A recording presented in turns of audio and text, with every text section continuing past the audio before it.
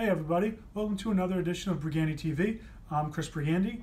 Today I have a really awesome uh, baseball card. It's one of the best cards in the entire hobby and it's extremely rare and that is right here is the Nap Lajoie 1933 Goudey gum card.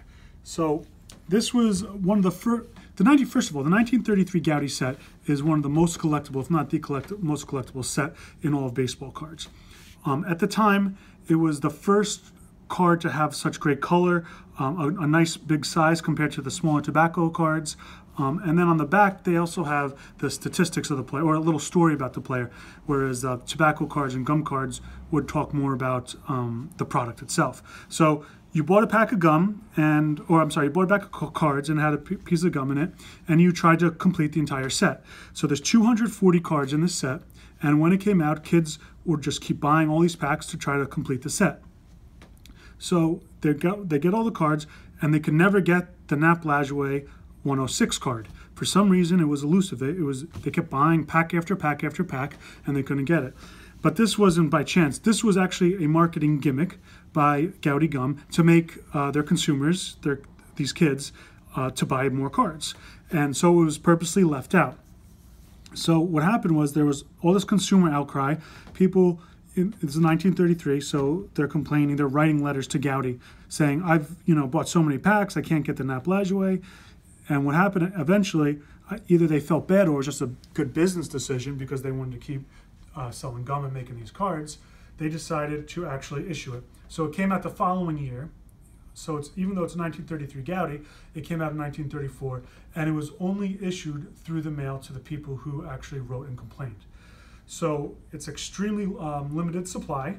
Um, and then another thing you'll notice this is uh, six and a half, so it's a pretty nice uh, grade. And a lot of these Lajoie cards, they tend to be a, a nicer grade like this, and that's because since they were issued through the mail, they were probably given to people who really were collecting the sets and taking good care of everything.